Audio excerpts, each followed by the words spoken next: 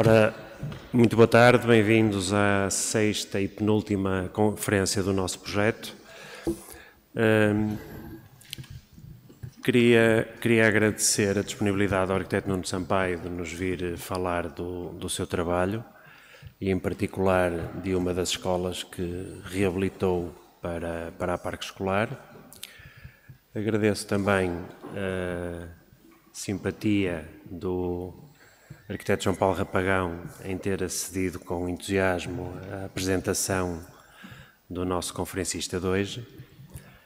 Uh, e queria também apresentar o Sr. Vitor Fonseca, que está aqui em representação da Vidraria Fonseca, uma das vidrarias históricas da cidade do Porto, uh, sendo oportuno divulgar um raro serviço de emergência de, que a vidraria presta, ou seja, estão abertos 24 horas por dia durante 7 dias por semana para qualquer emergência de que precisem. Uma vez num sábado, um cliente mal disposto. Um, na verdade, eu não sei quem foi, mas prefiro esta versão do cliente mal disposto. Partiu-me um enorme vidro da monta do escritório e eu lá descobri que a Vidraria Fonseca tinha este serviço de, de emergência e passado uma hora estava, estava um enorme vidro recolocado no sítio. Bom, mas esta não é a parte importante. A parte importante é que aqui há, falávamos aqui há pouco, talvez há coisa de 15, 20 anos, tive a felicidade de contar com a contribuição da, da Fonseca para desenhar, desenhar e construir todas as peças eh, integrantes do projeto museográfico de um, de um grande museu eh, em Anadia, Museu do Vinho da Bairrada, uh, ao qual tive que recorrer a três vidrarias diferentes, tal era a quantidade de, enfim, de peças uh, que havia para executar. Uh, e a vidraria Fonseca foi, foi, a, foi, a vidraria que ficou com as peças difíceis, ou seja, há, há um, uma disponibilidade e um know-how verdadeiramente impressionante na colaboração que, no fundo, estabelecem com os arquitetos que é, de, que é de louvar e que, segundo percebo, se mantém até aos dias de hoje. Portanto, não deixem de, não deixem de consultar caso, caso haja necessidade deste tipo de, de serviço. Um, aproveitava ainda para dizer que a última revista da RUF Magazine, que eu já tinha aqui apresentado na última sessão, já se encontra disponível, já foi entregue aqui na livraria da, da FAUP, portanto já está a ser comercializada e já integra um conjunto de artigos e textos uh, relativos ao nosso projeto. Uh, e dizer também que uh, a Viarco, a fábrica de lápis Viarco, a única fábrica de, que produz ainda lápis na Península Ibérica, gentilmente colaborou com o nosso projeto, produzindo dois lápis diferentes que foram desenhados por nós e que estamos a tratar do processo também de, em breve, eh, estarem disponíveis para serem, para serem adquiridos, eh, nomeadamente aqui na, na loja da, da livraria. A todos, muito obrigado pela vossa presença. Passo a palavra ao arquiteto João Paulo Rapagão. Boa tarde a todos. Em primeiro lugar, agradecer o convite, conforme disse o, o professor André Santos, foi com entusiasmo que recebi o, o telefonema e o convite para apresentar o Nuno Sampaio, por muitas e diversas razões, eh, que vou tentar, nestes breves minutos, eh, explicar. Um, em primeiro lugar, falar da biografia genérica do, do Nuno Sampaio. Ele nasceu em 74, eu penso que este o ano da revolução que lhe deve ter deixado o sangue mais agitado, porque é um homem desassossegado no bom sentido da palavra. E aos 23 anos licencia-se na Universidade de Lusíada do Porto em arquitetura para um ano depois integrar o Centro de Estudos da Faculdade de Arquitetura da Universidade do Porto. E, portanto, integrado e de alguma forma agarrado a, ao Centro de Estudos, acaba por ter uma breve incursão no mundo do ensino também, sendo mestre pela Escola Técnica Superior de Arquitetura em Barcelona, da Universidade Politécnica da Catalunha, onde em 2002 passa a ser professor uh, convidado uh, e desenvolve um projeto com sede o território aqui no Porto, lá grande escala, e desenvolvido também, ainda ligado à Escola Técnica Superior de Arquitetura de Barcelona, com trabalhos realizados em Nápoles e em Veneza. Em 2000, funda o Ateliê Nuno Sampaio Arquitetos e mais tarde, em 2009, a conhecida Estratégia Urbana. É membro do Conselho Diretivo Nacional da Ordem dos Arquitetos entre 2008 e 2010, neste mandato, eh, de três anos, e, e, com uma missão que eu já falo a seguir. E em 2013, eh, entre muitos júris que tem integrado, integrou o Prémio FAD de Arquitetura em 2013, como dizia. Apresentada esta breve biografia, gostava de falar do Nuno o Nuno que eu gosto muito também, que é o Nuno das muitas missões. Cada vez mais a arquitetura é uh, uma missão muito difícil para os arquitetos, porque também cada vez mais parece uh, maior o divórcio com os cidadãos, com a sociedade e com aqueles que no fundo servimos enquanto arquitetos. E o Nuno é um homem dessa missão. Uh, muito, muito atento a esta ideia de transversalidade e universalidade da arquitetura. Uh, eu volto a repisar alguns dos pontos do seu currículo. Em 2008, integrando o CDN, apenas num mandato, a ele se deve, e no fundo ele entra para o Conselho Diretivo Nacional da Ordem dos Arquitetos com a missão de acabar de uma vez por todas com o 73-73 fazendo surgir o 31 2009 e a ele se deve, no fundo, esta missão de três anos para conseguir esta, obviamente que não sozinho, mas acompanharmos, ele ia com esta missão e teve-a e conseguiu-a. Desde 2007 também, pondo no panorama internacional a Trienal Internacional da Arquitetura de Lisboa, assumindo a vice-presidência em 2010, que é também uma referência a nível internacional do ponto de vista da arquitetura, e salientava também, de alguma forma, uma espécie de embrião do que hoje ele exerce, a estratégia urbana. A estratégia urbana teve uma vida reconhecida por todos como importante e ainda por cima sediada em Matosinhos, como laboratório, na altura eh, com mostras, conferências e já muito, muito dedicado ao debate da arquitetura e, portanto, isto revela de alguma forma esta, esta ideia do Nuno Sampaio como pessoa atenta à disciplina e a fazer chegar essa disciplina a todos nós. desde 2014, e essa é para mim a exposição máxima do, do Nuno ao serviço do interesse público da arquitetura,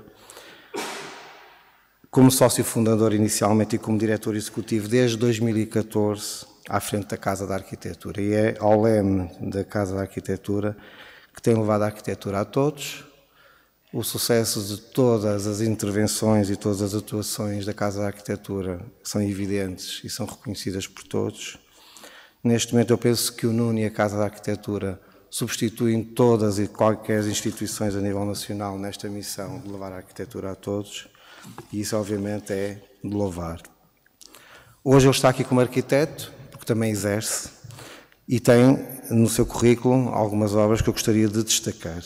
Desde logo as suas instalações em Matosinhos, da Nuno Sampaio Arquitetos, ao qual se junta a estratégia urbana mais tarde, a unidade de cuidados de saúde de Argoncilho, aqui bem perto, um trabalho muito meticuloso que a mim me agrada particularmente, que é o Centro Histórico de São Martinho de Mouros, publicado e facilmente pode ser estudado, um projeto para o campus de Justiça de Aveiro também, e o projeto expositivo do Museu dos Coches, juntamente com Paulo Mendes da Rocha, que eu penso que é conhecido de todos. Para além destes outros, e destacaria obviamente o que vai ser hoje aqui apresentado, a Escola Secundária de Castelo de Paiva. Um trabalho de reabilitação e modernização, integrado no programa da Parque Escolar que todos conhecemos, importantíssimo, não só porque motiva também esta, esta ação liderada pelo programa Escolas Complexidade e Interpretação, ao qual está associado o professor André Santos e os colegas Ana Costa e Silva, Luís Viegas e Rui Américo Cardoso, mas, obviamente, porque importa perceber que as escolas são importantes na formação de todos, os que lá passam. Não é só o modelo de ensino que tem que ser revisto, mas também os espaços onde se ministra o ensino. E essa é uma outra, é uma outra forma de ensinar arquitetura a todos e a importância da arquitetura, porque não é só saúde. A arquitetura também faz parte da nossa saúde. E as escolas são importantes por isso desde cedo. Principalmente nestas idades em que racionalizam mais do que ser intuitivos no, no básico, se calhar são mais racionais nestas, nestas idades. E, portanto, importa conhecer estas tipologias, que são modelos, acima de tudo, de organização de espaço e também de ensino, e por isso, nesta sexta sessão, deixo-vos com o Nuno Sampaio, a quem agradeço, obviamente, a disponibilidade também. Vamos ouvir-te. Muito obrigado. E obrigado. obrigado.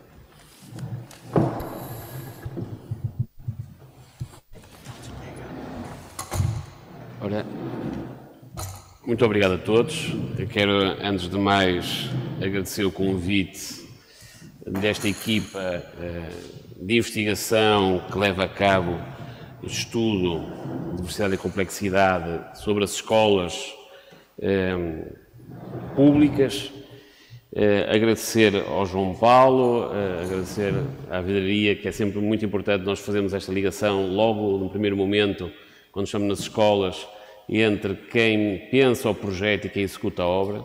Agradecer a vossa presença e algumas presenças aqui do arquiteto Pedro Ramalho, alguns colegas que são parceiros aqui noutras aventuras que eu que vos irei convidar. Uh, o arquiteto Pedro Ramalho inaugura uma exposição na Casa da Arquitetura no próximo sábado. Portanto, estão todos convidados desde já. E agradecer a presença de dois colegas, o Jaime Fidalgo Maciel e o João Gil, que colaboraram em alguns destes projetos que vocês vão ver. Bom, é, esta é uma oportunidade que eu agradeço de dar a conhecer algum trabalho menos conhecido do, do, da minha profissão. Uh, esta, este cruzamento entre o, o que é a missão muitas vezes, de divulgar, de fazer divulgação pública e levar a arquitetura a toda a gente, cruza-se sempre, sempre, sempre com o trabalho de projeto.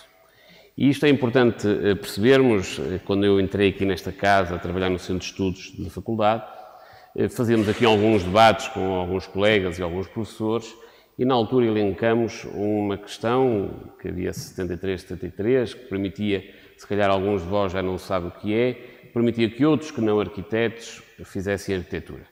Isso para nós é uma, uma coisa perfeitamente impensável, pensarmos que hoje em dia a atividade profissional dos arquitetos pode ser feita por gente pouco qualificada ou sem as qualificações necessárias para poder fazer. E, portanto, isto é uma coisa que importa logo desde o início para quem está a estudar arquitetura, quem está uh, nas escolas de arquitetura, pensar que se estão a esforçar, que estão a investir em aprender e fazer o melhor de si, pois ao lado há alguém que na mesma cidade, no mesmo território, lhe é permitido fazer uh, a desqualificação desse território e, naturalmente, dentro de, de o que é a cidade, a descaracterização da cidade, a desqualificação da cidade. E vou-vos apresentar uh, no, no, no, algumas imagens uh, projetos do início de carreira sobre o tema e vou terminar no final de carreira ou melhor, no que tenho feito agora na última parte da carreira, eh, noutros contextos, eh, noutros países. Eh, e eh, mostrar um projeto que nada tem a ver, à primeira vista, que é um centro de saúde, com as escolas, mas no qual nós, arquitetos, vamos sistematizando algumas problemáticas e a reaproveitamos ou aproveitamos para, numas, numas, nos projetos, estudar algum, algumas questões que são sempre úteis para outras. E é isso que eu vou mostrar nesse percurso, ou umas coisas que são recorrentes eh, de uns projetos para os outros, que fazem, que caracterizam o trabalho de cada arquiteto, que é diferente de arquiteto para arquiteto, e naturalmente eh, o trabalho do próprio arquiteto vai variando ao longo, ao longo dos anos. E vamos mostrar o João Pedro Serodo, uma vez numa conferência da estratégia urbana, eh, uma, uma conferência intitulada Do Conceito à Obra, e que ele dizia, na conferência dele, que eram mais conceitos do que obras. Eu, na altura, ri um bocadinho, eh, e depois, com algum estudo, comecei a verificar de 60% a 65% do trabalho dos arquitetos nunca é construído. E, portanto, não existe a possibilidade de ser conhecido da população em geral, nem dos investigadores, nem dos estudantes, se não for através dos acervos de arquitetura, como a Casa da Arquitetura agora o cuida, ou através de conferências como esta. Bom, é, era uma escola básica que nunca chegou a ser construída, como eu vos disse, foi no início do, do tempo de escritório, ainda os três dias eram muito elementares, um, num, num, numa, numa pequena agrupamento urbano, eh, uma escola que era para demolir e construir uma nova uh, escola primária. Uh, o território não era muito qualificado, uh, a escola que existia era esta, num, num platô com uma, um desnível muito grande, aqui a, a entrada e depois tinha uma vista maravilhosa para a frente. Portanto, estamos aqui a ver é a rua existia aqui, o terreno original tinha este clipe, que já tinha sido aproveitado para esta construção, que nós íamos demolir, e depois tinha uma vista uh, muito, muito, muito boa. Bom, o que nós fizemos foi uh, vencer algum, algum deste, deste nível através do acesso, chegávamos aqui no meio de dois corpos, digamos, com uma materialidade mais, mais densa, uh, entrávamos, tínhamos uma, uma primeira zona de estar com uma biblioteca e depois uh, três salas de um lado, duas salas do outro, equipamentos uh, sanitários e íamos lá para baixo. E curiosamente já aqui começávamos a necessitar de criar uma estrutura que permitisse uma vivência distinta do que é a escola.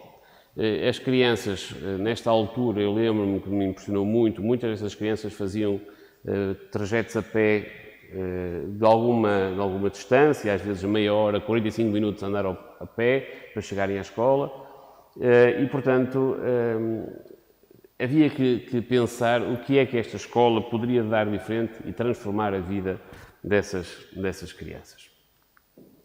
Depois, cá em baixo, quando descíamos, chegávamos aqui, tínhamos uma zona de estar, tínhamos um grande uh, recreio coberto, um polivalente, com luz dos dois lados, e uma zona, o terreno ainda sendo pequeno, coberta, que permitia em dias de chuva ainda assim poder-se abrir e haver uma, uma ampliação da zona de brincar, da zona de recreio.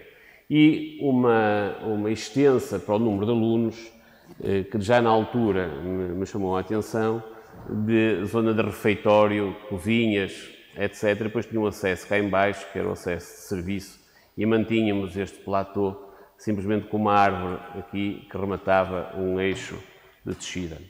Eh, e, e, e nessa altura, ehm, quando eh, fizemos um pouco de pesquisa para outras escolas que existiam na, na, naquela altura, verificamos que havia uma desproporção muito grande da área que eram áreas de serviço de cozinha para a área de uh, ensino.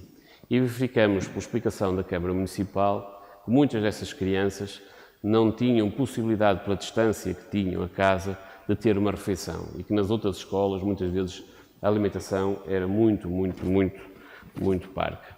E então a Câmara Municipal quis investir, ampliando esta área, de poder servir todos os alunos por refeições, para que só assim conseguissem uh, ter algum sucesso escolar. E, portanto, a área depois de recreio era, naturalmente, ainda pequena, o lote era muito pequeno, mas uma zona uh, com, uma, com uma exposição solar maravilhosa. E eu, quando fui rever, buscar estes renders, parecem quase do início do século, quando começava-se a fazer renders na altura, agora a gente acha uma piada, na altura isto parecia muito, muito sofisticado. Uh, e, e acontecia já que eram uns volumes e agora, quando eu olho ao fim destes anos, existem pontos que realmente contactam, eram os volumes brancos, neste caso rasgados, suportados numa estrutura de betão à vista e com um enorme balanço que acaba por proteger estas zonas de, de, de entrada e saída mais franca. Eh, e aqui vê-se melhor. As crianças eram sempre as mesmas, como vocês veem.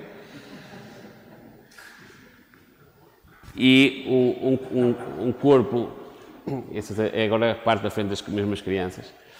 Estamos a falar dos anos 2000, no início dos anos 2000.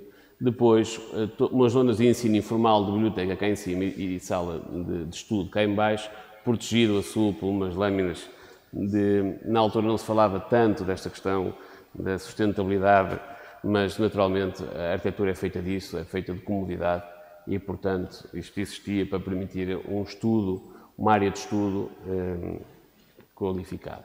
Bom, já há relativamente pouco tempo foi encomendado um, um, um centro de saúde que fez o projeto, depois teve muitos, muito, muitos, muito tempo parado e em plena crise foi, foi construído. Temos, curiosamente, uma escola no centro de, uma, de um povoado Argoncilho, pertence a Santa Maria da Feira, completamente disperso, com várias, um, vários núcleos uh, verdes, e, e, havia dois elementos que formatavam a paisagem como referência, uma delas, curiosamente, era a escola. Portanto, a escola era feita num platô uh, uh, nivelado, com acesso rampeado, e depois existia um, um loteamento e em todo loteamento há sempre alguma coisa que oferecem ao espaço público e normalmente é o pior do que, do que do, dos lotes, é para o espaço público. E, portanto, é outra coisa que eu na altura não tinha tão ciente e começou a ser recorrente. Mas também uh, unia neste projeto que tinha uma, uma pendente muito grande e tinha uma, uma perspectiva sobre a paisagem algo, algo favorável. Bom, e o que nós fizemos foi uh, como tão estreito que era o lote, colocar grande parte do programa na zona mais extensa do lote. E numa, numa configuração um, solar muito boa, norte-sul, um, e aqui tínhamos a zona que era pública de entrada de nível para a rua, e depois lá embaixo uma zona médica e um pátio coberto para poder ter um espaço mais livre para, para os médicos. Bom, isto eram as primeiras maquetes de estudo, nós temos, aqui temos a rua, toda, todo o acesso eh, possível de um, de um utente era feito sempre no mesmo piso, e aqui a fachada norte e depois a fachada sul, e aqui existia uma zona eh, liberta para que muitas vezes os médicos pudessem cá para fora. Bom, eu começo por baixo, portanto, aqui ainda tinha alguns lugares de estacionamento que nunca, nunca foram utilizados para estacionamento. Havia uma, uma, uma rampa que acedia ao espaço mais baixo e depois tínhamos aqui uma zona de reuniões dos médicos, uma copa, uns sanitários e tudo isto eram eh, áreas de arrumos de medicamentos e uns, e uns sanitários. E tudo tinha sempre uma grande preocupação eh, que depois se veio a desmaterializar quando trabalhei com o arquiteto Paulo Mendes da Rocha, alguma certa eh, perseguição com as infraestruturas, então o enquadramento das infraestruturas para que elas não parecessem à vista era uma preocupação eh, muito nossa. E quando eu comecei a trabalhar no Brasil, curiosamente, eh, acabamos, digamos, por eh, descontextualizar essa preocupação e Paulo Mendes Rocha dizia que alguma coisa, se, se o cliente paga, ele também quer ver as infraestruturas, as infraestruturas cada vez são mais caras e, portanto, ele queria as mostrar. Eh, Cá em cima era uma, era uma organização muito simples, era um, um, corredor que atravessava e, portanto, daqui via-se uma, uma extraordinária vista. Tínhamos uma zona de recepção coberta, com uma sala de espera, zona de secretaria, umas casas de banho e aqui volta a haver um outro pátio técnico onde se coloca eh, todas as infraestruturas e depois, eh, e porque eh, me fui alertado na altura pelo cliente ou, ou por um técnico, um engenheiro que representava a Direção Regional de Saúde, era que o dinheiro era sempre pouco, as manutenções não eram feitas, o, o, o mobiliário era comprado por atacado, ou seja, fazia concursos globais e compravam a mesma cadeira para todos os centros de saúde e a mesma. E então eu disse-me: se quiser ter algum mobiliário, construa mais barato e assim sobra-lhe algum dinheiro e mete já na empreitada. E portanto o que nós fizemos foi constituir uma, uma, uma arquitetura que resistisse com botão à vista, um, ehm, colocar todas as infraestruturas unicamente colocadas neste, neste corredor e de aqui, deste, deste, desta, desta conduta que depois ligava ao, lá, tanto lá para baixo como para aqui, havíamos a distribuição hidráulica para, uh, e da AVAC para estes armários que eram eles próprios uma, uma parede infraestruturada onde tinha tudo, não é? Tinha, tinha o lavatório, tinha o ar-condicionado, tinha uh, o, o, armário para, para o médico guardar as coisas. Portanto, mas era, do ponto de vista da estrutura, muito simples. muito organizado, que tínhamos uma grade muito simples que protegia de, de, de, do sol de sul e um, um, um glace que permitia a entrada franca de luz a norte. E o, o, projeto era isto, era o botão à vista, portanto aqui vemos a estereotomia do botão, a, a, a tal, a, a, tal grade, que não é mais do que um encerramento do, que vocês veem daquelas, daquelas lojas, nós invertemos esse material que, foi, que era barato e então eh, colocamos num correr contínuo e, e, depois isto aparecia em consola e deste lado tudo o glass com as janelas que ainda hoje os médicos gostam muito porque não precisam de ter cortinas, não precisam ter absolutamente nada, porque uh, vivem só bem com a arquitetura. Bom, aqui vê-se uh, dois exemplos, o exemplo de uma porta para um dos, um, um, dos, um dos gabinetes e toda a infraestruturação que ainda hoje não sei como é que foi possível colocar lá tudo, toda a iluminação, como não havia dinheiro, era iluminação indireta, porque não havia dinheiro para comprar uh, iluminação que nos agradasse esteticamente, com qualidade e que pudesse ficar à vista, e depois tínhamos as condutas que andavam aqui, as hidráulicas e o no pavimento. Portanto, tudo isto era um, um corredor técnico que de vez em quando tinha umas portas para se aceder aos, aos, aos gabinetes. E a estação de imagens, a entrada uh, no centro de saúde, de nível, sempre aqui a tal grade e aqui descia-se para depois entrar aqui no portão. Esta cobertura ainda não estava verde e eh, era suposto tivesse crescido algum verde, eu julgo que, que até cresceu durante os dois a três anos, mas lá está a falta de manutenção que voltou a ditar que ela ficasse em gravilha. Eu vou passando algumas imagens, como o importante aqui não é explicar tanto é, é, não é ficar pelas imagens ou é, dar importância à imagem da arquitetura, mas a, forma, como diz Eduardo Sotomora, em que a arquitetura pode resolver problemas. Aqui as fotos são aqui também do Jaime, vemos quase tudo. E depois vemos aqui uma coisa que eu normalmente não gosto de olhar muito, mas que sempre me apareceu, que foi um colega que mais tarde fizeram esta, esta, esta vedação, e que não me agrada muito. E o corredor termina nesta, nesta janela, que dá para uma vista que vocês já vão ver. Portanto, isto é o tal pátio, o sistema do glass contínuo com as, as janelas de abrir, a casa das máquinas, uma das casas das máquinas, e já aqui há uma preocupação um, que nestas, nestas paredes estruturais, que seriam de estrutura, serviam tangencialmente para pousar o volume superior.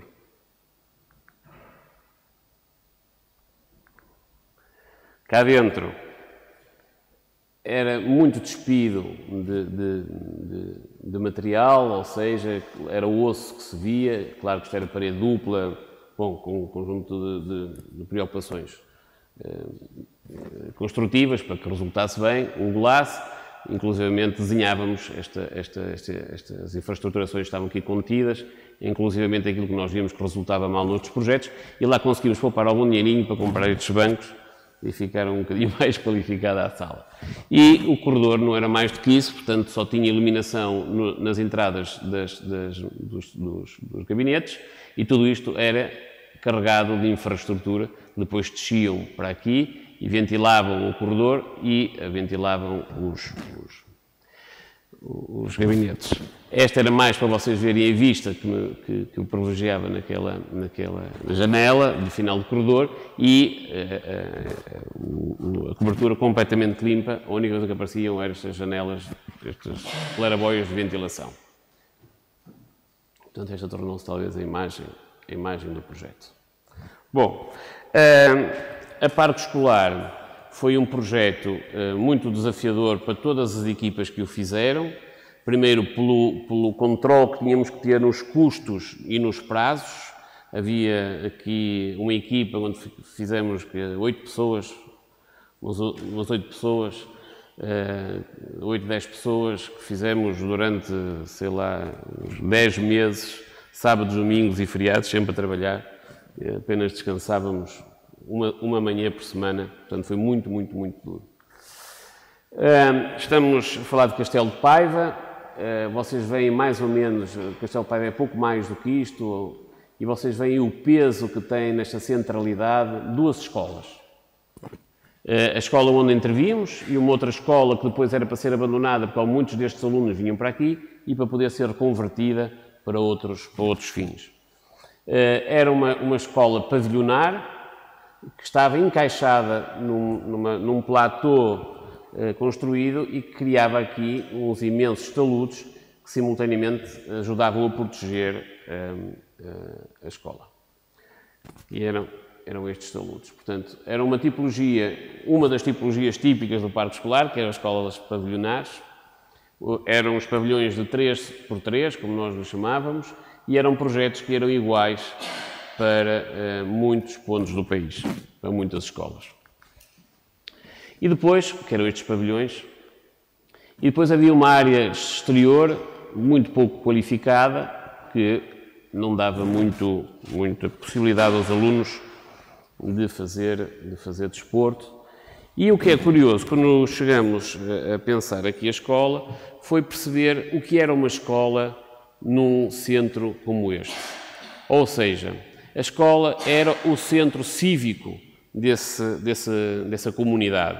Eram onde, neste caso, por exemplo, havia a festa de Halloween, mas havia também a festa do fumeiro, onde se, havia, onde se queria lançar um livro, era na escola que se lançava, e depois a parte escolar ainda conseguiu ter, como vocês com certeza já acompanharam noutros, noutros projetos por outros colegas, esta ideia de termos um espaço que pudesse ser aberto à sociedade, que tivesse várias componentes, entre elas a cedência de espaços desportivos, para que também a escola fosse um centro no pós-laboral eh, pudesse ser um centro de, de, de encontro de últimas atividades para a comunidade onde estava inserida. E era uma coisa recorrente dos vários problemas, era sempre estes, estes cacifos eh, que a mim me assustavam sempre que chegava a estas escolas, porque era sempre postos, eh, postos a posteriori de qualquer forma e não qualificavam nada ao espaço. Portanto, isto foi o que nós encontramos, estas escolas pavilionares. Havia aqui uma construção que vocês viram ali, muito desqualificada, e curiosamente era o sítio onde as pessoas conviviam, onde na parte exterior das escolas havia esse convívio, e havia um edifício muito desqualificado também eh, demolimos e limpamos todos os espaços exteriores, mantendo e qualificando até este, este entorno eh, vegetal. E, portanto, nós fizemos logo uma quantificação do programa, como é que, quanto é que estudava, portanto, recuperávamos as, duas, as, quatro, as quatro, eh, os quatro pavilhões, construíamos uns outros eh, dois pavilhões e colocámos toda a restante escola em vários pisos neste, neste bloco e a zona desportiva deste lado. Portanto, foi uma leitura muito eh, franca, muito simples, muito objetiva, para responder a uma complexidade do programa que tinha, que, que depois vocês vão vê-lo, eh, mas que desta forma nós conseguíamos eh, resolvê-lo. E ainda assim resultava um conjunto de espaços eh, que permitiam diversos tipos de uso. Este foi uma, um, um teste que nós fizemos de um conceito que era replicar este pavilionar num piso zero e depois recolocar esta, esta grande massa de construção que eram as aulas, os laboratórios, etc., e as zonas desportivas. Para que vocês tenham mais ou menos a ideia, este edifício tem 140 metros de comprimento, estamos a falar de um campo e meio de futebol. Estes são os meus primeiros maquetes, plano de massas ainda, e aqui já a implantação. Nós acedíamos à escola através de uma rua provavelmente existente, tinham dois pontos de cota apenas. Aqui servíamos para o acesso secundário, onde fazíamos estacionamento para professores, aqui era o acesso central. O, os, o, os, pavilhões centrais eram para eh, chamadas escolas de outras oportunidades, ou seja, gente mais velha que vinha aprender e ter aulas aqui para se requalificar e uh, o primeiro ciclo. Portanto, estes miúdos que andavam aqui eram miúdos entre os 6 e os, e os 10 anos e, e que uh, tinham que conviver, mas ainda assim ter espaços distintos para poderem brincar e não serem atropelados pelos mais velhos. Criávamos então aqui uma zona informal de recreio exterior e uma zona exterior de, um, de, de desporto. Este passeio ou este, esta linha de circulação era acompanhada de nível por um jardim e que foi mais tarde ficou conhecido, como vocês vão ver, como o Jardim dos Beijos. Portanto, as três portarias foi requalificado, estes pavilhões, mantivemos a sua estrutura 3 por 3 alteramos aqui as questões das escadas, etc. E vocês veem o, o que é o pavilhão tipo. Um, a zona de entrada, os, a zona dos professores, a direção da escola, a secretaria, uma ligação direta ao centro da, da, da, da entrada da escola, a biblioteca. Cruzávamos, era muito importante para nós cruzarmos esta área, que era uma área de convivência, onde tinha o refeitório, a zona de permanência e um barzinho, e voltei a recordar este, neste projeto, porque este projeto era, na zona norte do país, era a escola que maior número de refeições servia. Uh, e isto, quando conversamos com alguns dos, dos, colegas da parte escolar, eu voltei a ver uma certa desproporção que nós ainda assim tentamos combater um, ehm, de, desta zona de refeições e que acabou por fazer por turnos. Portanto, havia turnos seguidos de, de, de, de refeições, porque eram muitos alunos que, pela mesma forma, se calhar já não vinham a pé, já eram os pais que traziam, muitos deles vinham de autocarro, mas que não tinham tempo de ir almoçar a casa e eh, era também ideia da, da, da, da Parque Escolar arranjar uma oferta que o aluno conseguisse ficar o dia inteiro na escola. Isto é algo que eh, eu acho que alterou muito a maneira como nós hoje encaramos a escola pública. No meu tempo, eh, nós só tínhamos aulas de manhã ou de tarde. E, portanto, íamos para casa. E quem tinha alguém em casa abria a porta e estudava connosco. Quem não tinha, fazíamos o que queríamos. Também só tínhamos dois canais de televisão, portanto, tínhamos mais um apelo a estudar do que hoje os alunos têm, mas de qualquer forma. Um, e trazer o aluno o dia inteiro para a escola, tem que haver espaços qualificados, diferenciados, que permitam que o aluno uh, possa uh, estar na escola. Depois temos uma zona de, de dança, de recreio, que inclusivamente tinha umas bancadas rebatíveis que permitia exatamente fazer o lançamento do livro com, com a ligação direta à rua, sem que esta comunidade pudesse vir aqui ainda no final da tarde se pudesse juntar com a comunidade geral da escola. E depois a zona coberta de balneários e de, e de, e de desporto. Cá em cima as coisas eram mais, eram mais simples, eu, eu ir para lá porque me esqueci de colocar uma planta, o edifício era isto, era um, tal como no centro de saúde, era um corredor de um lado ao outro, com distribuição de salas para um lado, salas para o outro. Um, e colocamos tudo o que era, houve aqui por necessidade de, de contenção uh, económica, de colocar, de haver uma certa racionalidade onde nós colocamos as zonas de água. Então, as zonas, apesar de haver naturalmente casas bem por aqui, as, as oficinas, etc., os laboratórios, etc., estavam nesta ponta de, do, do edifício, muito próximos das zonas de, uh, onde se consumia maior água, esgoto e a necessidade de fazer chegar todas essas infraestruturas. Uh, os pavilhões novos, os, pavilhões antigos remodelados, uma infraestrutura que era em betão, uh, e aqui lê-se a dimensão do edifício e que sempre cá em cima, ao contrário do que acontecia no centro de saúde, eu já não conseguia controlar tanta, tanta, tanta infraestrutura e o que nós fazíamos é a criação de umas redes que guardavam todas essas infraestruturas e deixavam os engenheiros com alguma liberdade passarem os tubos em cima dos outros, etc. Foi criado também por uma questão de racionalidade que eh, nos, necessita, que nos obrigava a alguma, alguma metodologia e o que nós fizemos foi, tal como uma música é composta por uh, sete notas, uh, quer seja uma música clássica, quer seja uma música de jazz, nós tentamos encontrar algumas notas musicais que nos permitissem ou neste caso notas de arquitetura que permitissem ter aqui algum padrão e portanto nós tínhamos três ou quatro tipos de janela e depois repetíamos as janelas conforme a tipologia de, de sala que tínhamos e tudo isto era protegido por um enorme uh, brise-soleil que fazia também parte da fachada. Uh, e esta, esta questão da, da, da, durabilidade foi uma preocupação muito grande para nós. Então, tudo que andava no piso zero, no contacto direto com a coluna, era de betão negro e depois em cima uma chapa branca.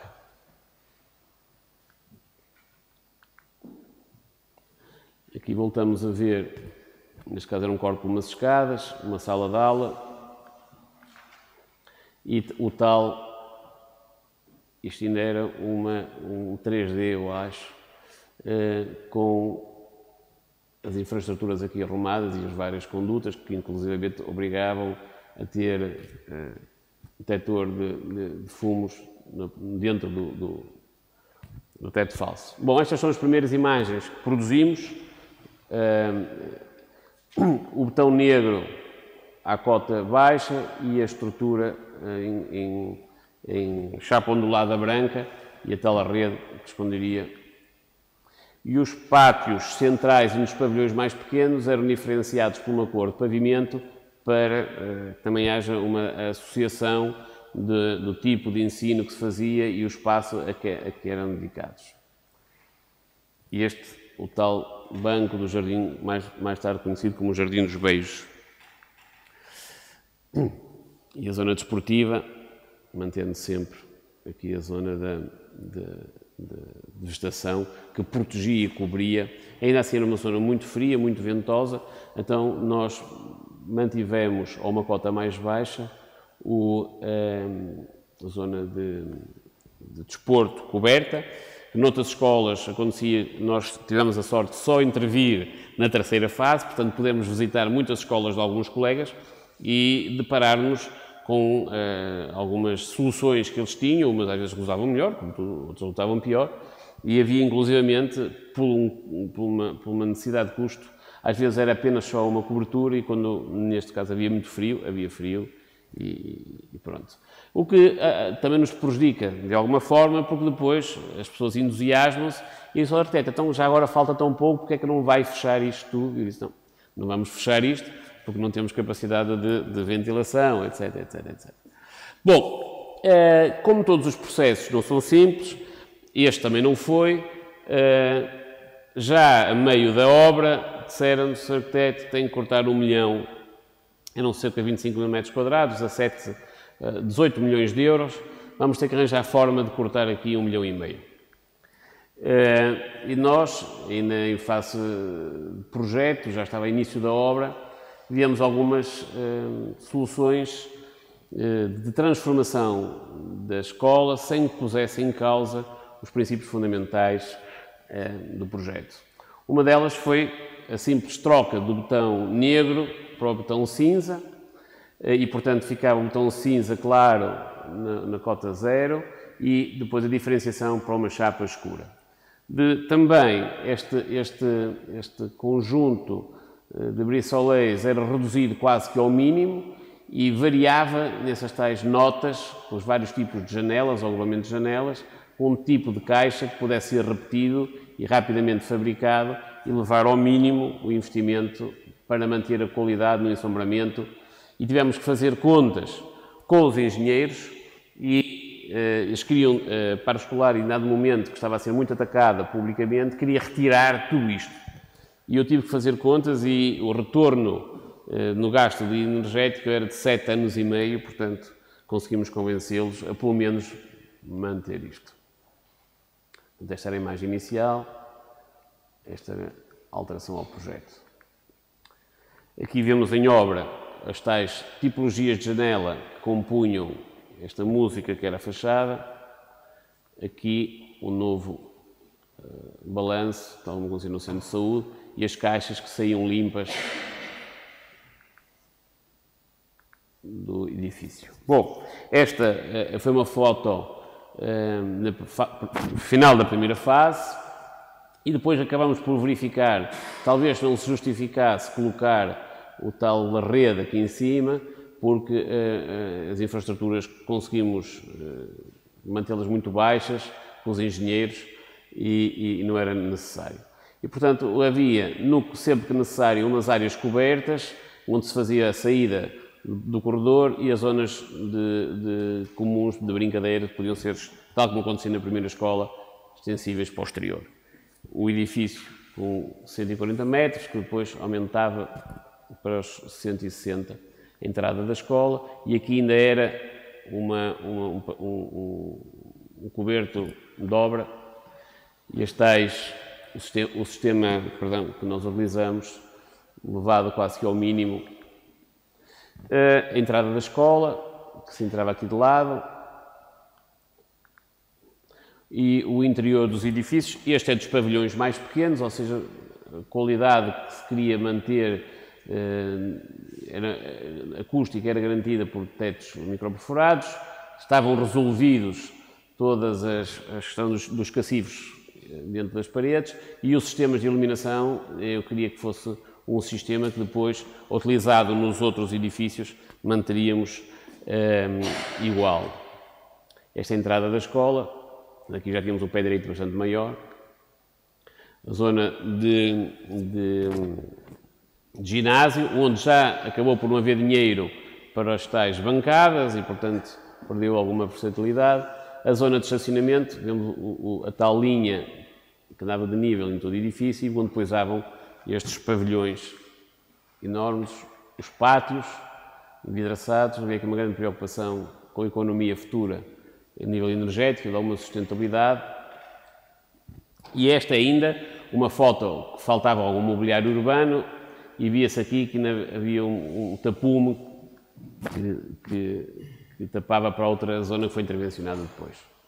As caixas que saíam no interior e a infraestrutura que unia, a cobertura que unia todos os pavilhões e que permitia uh, que as pessoas passassem de um sítio para o outro sem se molhar, naturalmente, uh, e os tais pavimentos de cor, muito associados à tipologia de uso interno do, do edifício.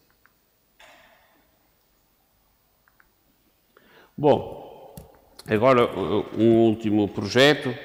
Eh, quando nós achamos que, e nos fazemos esta, esta reflexão, até quando nós conseguimos reduzir no esforço de construção, mantendo a qualidade e os padrões que nós estamos habituados eh, e as exigências que o edifício eh, tem que ter para responder às necessidades do ensino que se faz, no ensino que se quer, eh, mudamos de contexto e voltamos a colocar em causa algumas questões e de abrir a reflexão para outras. Trata-se de, um, uma pequena cidade a, uma hora de São Paulo, que era, tudo isto era mata atlântica e isto parece quase que um vírus chamado da urbanização, que vai tomando e comendo e comendo e comendo numa, numa, num urbanismo informal todas estas áreas verdes eh, e vai avançando. O nosso terreno é aqui, numa área que ficou desocupada,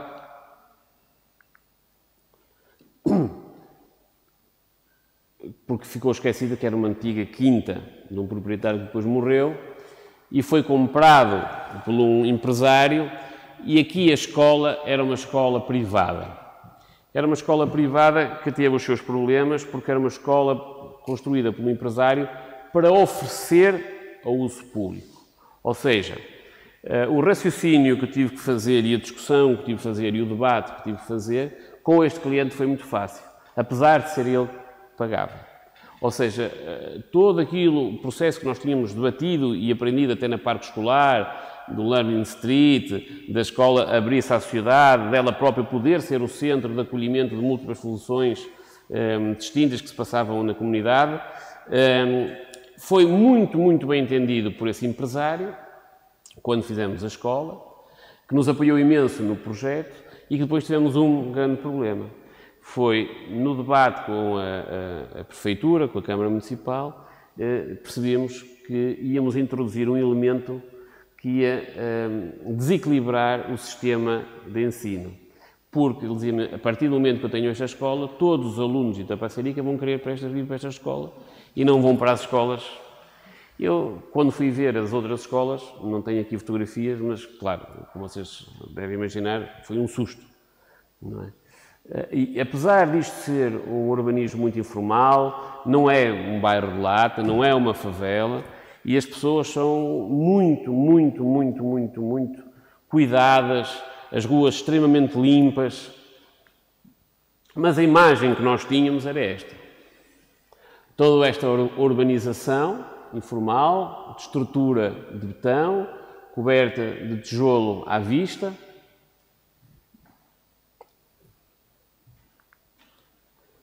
E sobrava este lote, que era a tal quinta, este tinha uma vegetação ainda de mata atlântica, portanto, em 3, 4 anos a, a, a, a, vegetação fez desaparecer os restos de construção que havia e tínhamos a cidade que se confrontava com os limites do lote eh, e que muitas vezes se empoleirava em cima do espaço desocupado, o que era às vezes difícil pensar como é que se iria fazer isto uma escola e criar aqui alguma, alguma reserva, alguma proteção e manter aqui alguma qualidade no espaço exterior que nós queríamos fosse de uso de, dos estudantes e estivessem ao mesmo tempo protegidos dessa, do que se passava lá fora, mas ao mesmo tempo que a escola se pudesse abrir e servir a comunidade. Curiosamente, mais tarde, quando eu comecei eh, entrar de uma outra forma junto desta comunidade e olhar com mais calma, se nós semicerrarmos os olhos, vemos que ah, existem aqui alguns elementos, desde o tijolo, eh, as caixas de água, os nossos depósitos, que eram comuns, identitários, e havia aqui, de alguma maneira, uma certa eh, nobreza, por assim dizer, que nesta pobreza, nesta estética eh, que a mim me agradou bastante. Sabendo nós que, naturalmente, nesta comunidade, que era carenciada em muitas das coisas que nós aqui temos como adquiridas e que lá não os eram, era uma comunidade que não ia ter dinheiro para a manutenção do edifício. Portanto, isto era, era a casa, a rua, um, uma pequena casinha que existia, e tínhamos aqui colados ao lote essas edificações, eh, e com uma topografia que descia neste sentido e que dava uma vista grande para, para uma paisagem. Uma topografia que era comum já que trazíamos. Que nós, a primeira coisa que nós fizemos foi uh, fazer um programa e testar esse programa com manchas e, portanto, percebermos que nós tínhamos que sobrepor este programa, senão ele ia ocupar quase a grande parte da, do, do, do terreno. E o que fizemos foi muito simples, aproveitando os ensinamentos eh, que fomos aprendendo neste processo da parte escolar e que podemos a seguir debater. Tínhamos duas entradas, uma mais franca, eh, que nos permitia os alunos entrarem estar aqui neste platô e depois descia para aqui, entrarmos para as zonas de recreio, eh, aqui uma, uma zona de uma biblioteca, com as zonas de sala de reuniões ou salas de estudo, depois um elemento que fazia a ligação vertical e depois toda a, a, a parte de, de, de, águas que nós necessitamos e até de, de preparação dos alimentos que eram servidos aqui à hora da refeição e que estava por baixo de um campo de jogos, para nós era bastante importante. Agora vou subir ao piso de cima. Podia-se na mesma subir aqui ir para uma secretaria muito pequena e, e para, para, o gabinete da diretora, mas eram tão poucos os professores, e as, e as escolas e, e, as salas de aulas. Uh, como isto era tudo reduzido e o clima era bastante diferente, o perímetro da escola uh, que, que tinha que ser fechado, que tinha que ser encerrado, era o limite do lote e o limite da sala. Portanto, todos os passeios eram passeios ao ar livre, as circulações eram cobertas, era ao ar livre e assim poupávamos muito dinheiro e muita parede e muito vidro ou tijolo eh, para poder eh, responder às contenções que tínhamos, naturalmente, e permitir que esta vegetação, depois ia ser limpa, ia ser cuidada, pudesse ainda ser um espaço de fruição e que ela permitisse que essa vegetação invadisse a zona do, do, do, da escola, mantendo naturalmente neste platô artificial os campos de jogos. O piso de cima era muito idêntico ao, ao, de baixo, com estas salas de aula. Os cacifes eram todos resolvidos para a parte exterior, eram usados unicamente durante o tempo que o aluno estava nas aulas e não havia qualquer proteção, a não ser o encerramento só por uma grade aqui desta zona de circulação e a cobertura. Nós ainda temos aqui, isto foi umas maquetes eh, que nós fizemos eh, virtuais, portanto, isso, o terreno ainda subia mais, portanto, nós tínhamos um volume de, de aulas, a zona cá embaixo de, de, de biblioteca, de, polivalente, de, zona de refeições, que poderia ser cá para fora, e aqui por baixo um conjunto de equipamento eh, e a zona de, desporto. Cá em cima, no, novamente, as, as salas de aula.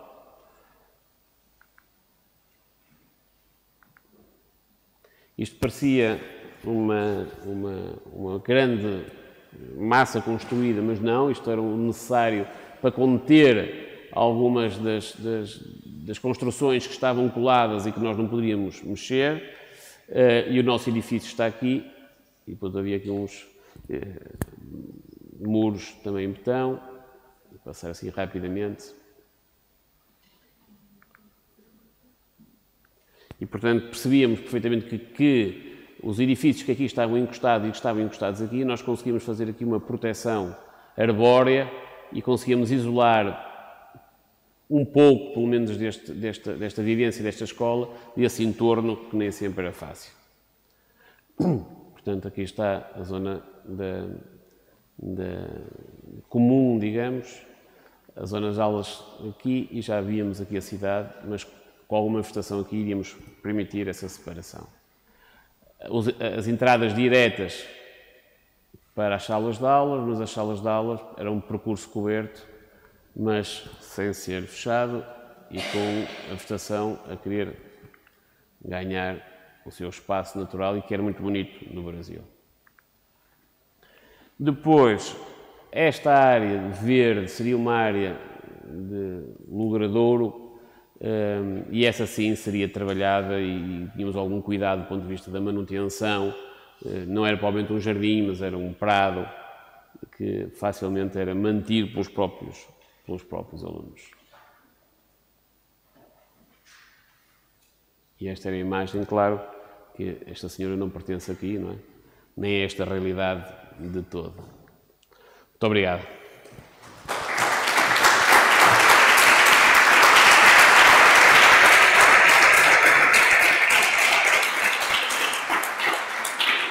Eu não sei se, se, é normal assim ou fazermos um, um pequeno debate ou, ou, conversa ou resposta a perguntas.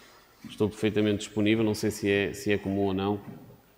Sim, se houver. Eu quero aproveitar o momento questão. Aproveitar a disponibilidade do Sampaio para esclarecer. Eu acho que é, eu acho que é importante, é, quando nós. É, afloramos algumas temáticas, neste caso como eu ensino. Eh, quando vemos esta passagem em talvez 20 anos, que não é muito da carreira um trabalho de um arquiteto, eh, nós próprios conseguimos arranjar coisas identitárias ao longo do tempo, mas nos questionamos muito sobre determinados problemas. A maneira hoje como nós encaramos a escola, e agora, bom, vocês, não sei se há algum brasileiro aqui presente, mas com certeza vocês estão muito atentos uh, aos problemas que existem com uh, o ensino no Brasil, nos levam a questionar e a valorizar alguns avanços que nós temos tido na, na nossa educação e que a arquitetura conseguiu acompanhar. Muitas destas escolas reveladas pelo parque escolar, que vários colegas fizeram trabalhos, sejam os liceus, eu lembro que havia um liceu aqui no Porto que já não tinha intervenções, obras há 80 anos.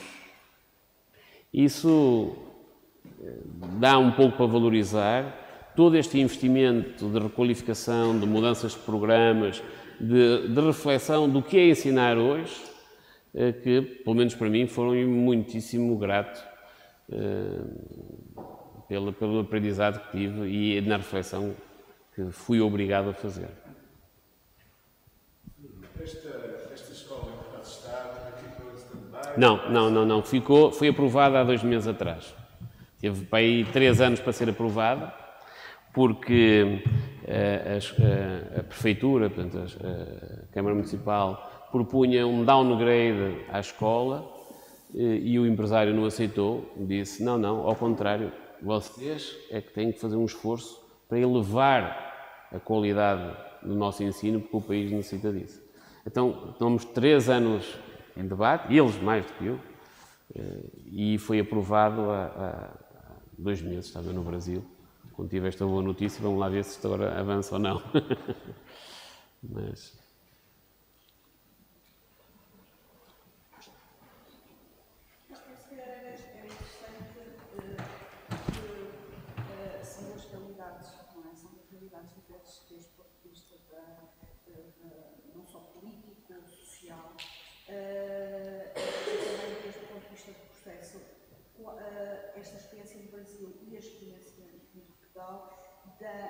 participação do interlocutor utilizador, professores, associação de pais, porque muitas vezes nós sabemos que se não houver uma relação muito forte com quem depois vai usar, quem gere o espaço, resultam os problemas para a arquitetura, não é?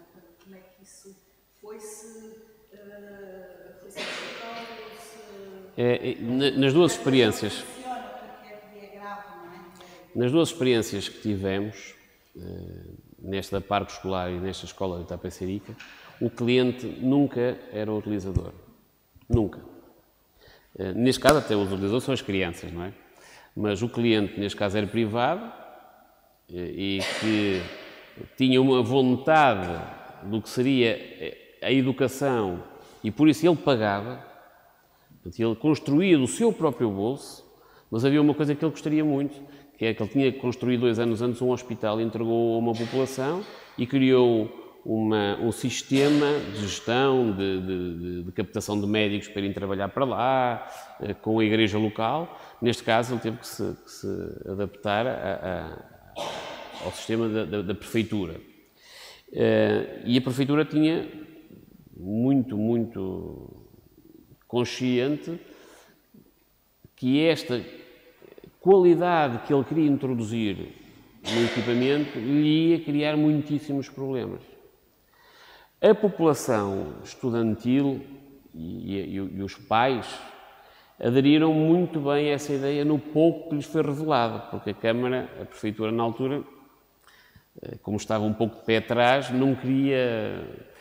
Eh, naturalmente, quando então eu falei num, num, num, então projeto chamado Paro Escolar, feito em Portugal, que o Estado dava uh, computadores aos alunos, é? vocês imaginam o brilho que teve aquela comunidade a pensar que, era, que também iam ter um computador, não é?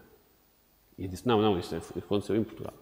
No caso, a Parque Escolar, nós tínhamos uma entidade que era, e fazia, tinha feito esse, esse estudo, de como queria transformar as escolas, por um lado, que nos protegia a nós, porque uh, as escolas queriam sempre tudo e mais alguma coisa, também quando às vezes não, não tinham esse, limite, fazia-lhe um bocadinho de barreira, mas eu pessoalmente gostava muito de falar com a direção das escolas e fiz várias reuniões, até para além daquelas que eram pretendidas pela parte escolar, para debater com a direção das escolas que levantavam problemas muito específicos.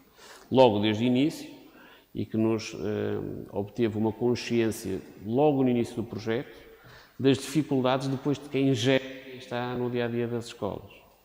É? Eles diziam-me, arquiteto, olha que eu às vezes tenho dificuldade para ter uh, funcionários para cuidar desta área ou daquela área, ou temos falta de dinheiro para manutenção disto ou daquilo.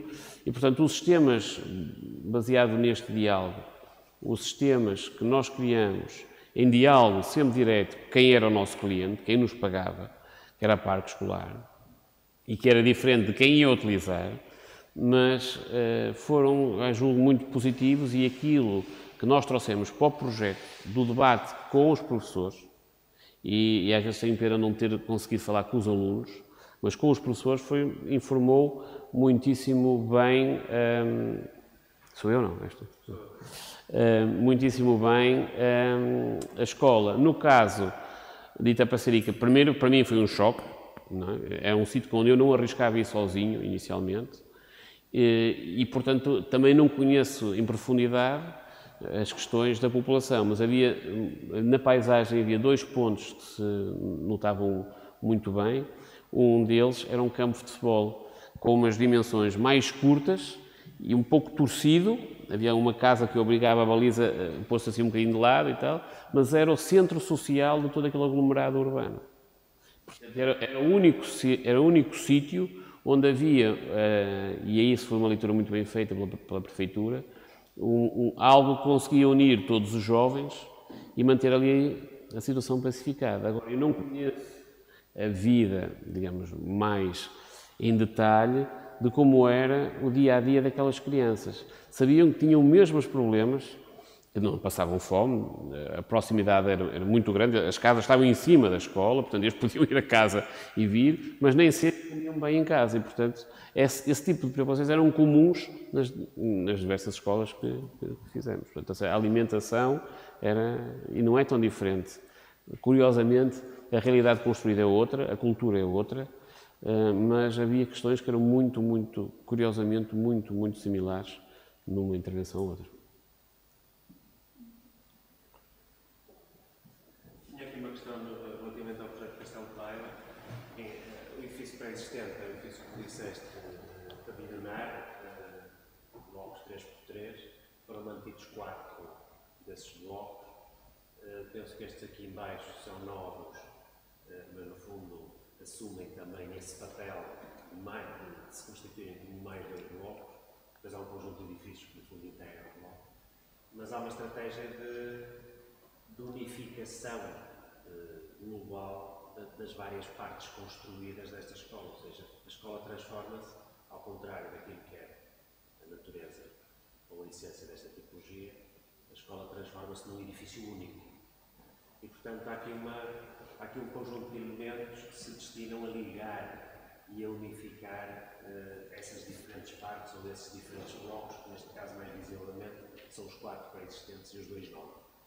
E, e, a questão era se foi desenvolvido algum, uh, nessa estratégia da aglutinação, se foi desenvolvido se foi pensado algum programa espe especial que no fundo aconteça neste momento que não seja apenas de circulação uh, entre os não, eu, nós fizemos este, este, estudo, tanto o Jaime, nós depois dividimos equipas e, e, e, depois cada um foi desenvolvendo uma área dos edifícios, uns edifícios. De, de, mas havia uma questão que era muito, eh, e por isso isto, nós diminuímos muito a secção de que era esta passarela, que era o único espaço que era da travessia, para poder aumentar esta área que era de união entre os blocos. Ou seja, este espaço que aqui estava, que era sempre, sempre plano, eh, eh, quando havia diferença de cota, fazia-se nesta, nestas, nestas, nestas, nestas áreas, eh, e isto funcionava como um recreio coberto.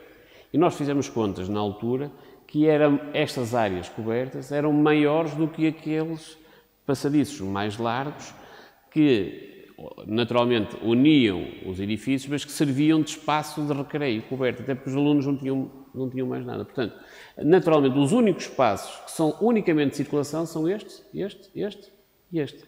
Do, e que servem realmente para cozer uma massa construída que é muito, muito grande, são 25 mil metros quadrados de construção, uh, mas quisermos criar, mesmo aqui com, estes, com estas bolsas que, faz, que apareciam aqui, não sei se que era a contenção, talvez isto aqui? Eram espaços de recreio, e depois ainda criávamos aqui umas outras que permitiam que, mesmo em dias de chuva, eh, que não, havia, que não havia muitas áreas exteriores cobertas, pudessem funcionar como zona de descompressão, principalmente para os alunos mais pequenotes.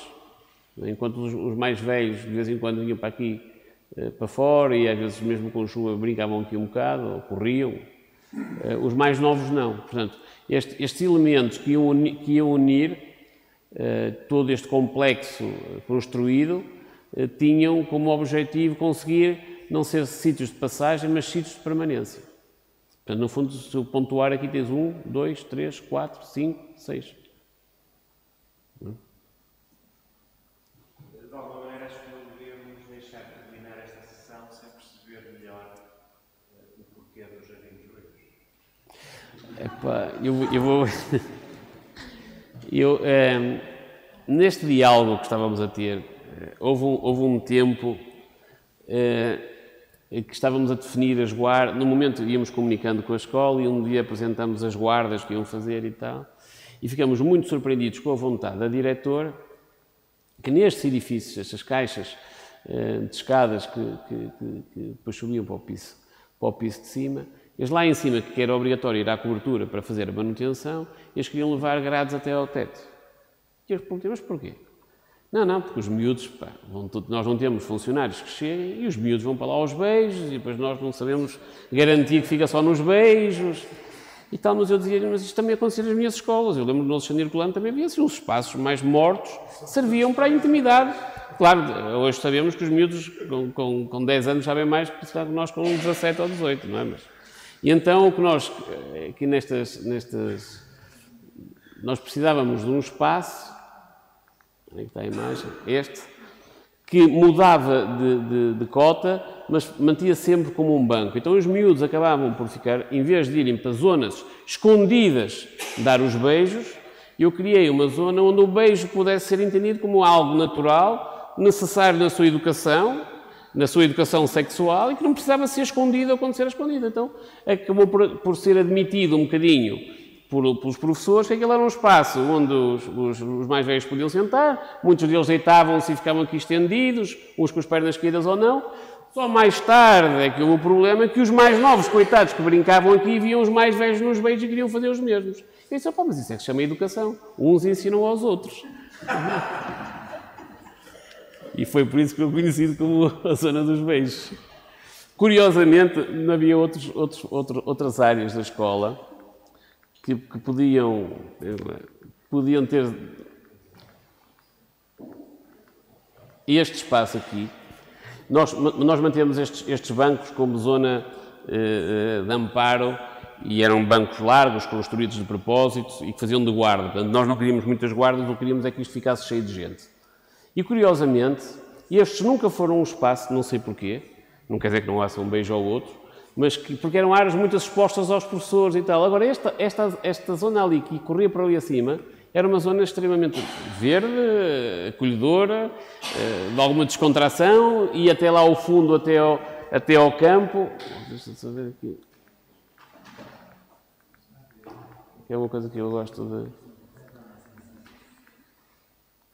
Já não tem imagens, é melhor ir aos desenhos.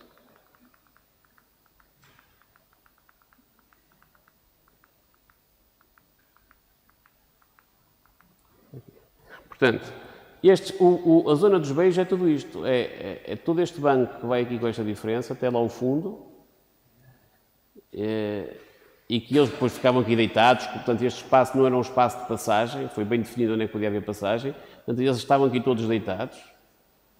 É, e já era um bocadinho mais longe do que esta zona tão, tão exposta à, direção da escola, que andava por aqui e tal.